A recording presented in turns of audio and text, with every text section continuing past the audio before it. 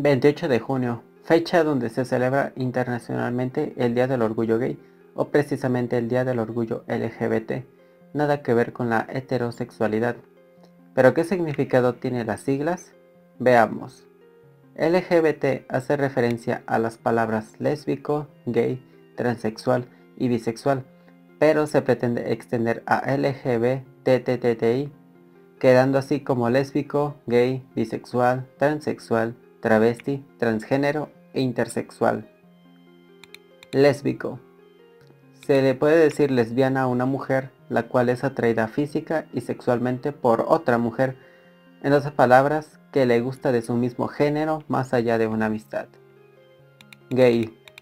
Término usado principalmente a los hombres, aunque también se les puede decir a algunas mujeres.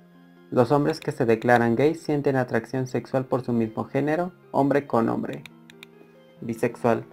Una persona que le gusta tanto el género femenino como masculino. Si es mujer, le gusta a hombres y mujeres, al igual que un hombre se siente atraído por hombres y mujeres por igual. Transexual. Una persona, ya sea hombre o mujer, que siente que su cuerpo no es su verdadero yo, por lo cual busca cambios estéticos y quirúrgicos para sentirse bien y convertirse en el sexo opuesto. Transgénero. Al contrario del transexual, el transgénero sí acepta su cuerpo como tal, pero sigue con sus comportamientos y pensamientos opuestos a su género. Travesti. Una persona que le gusta vestirse del género opuesto.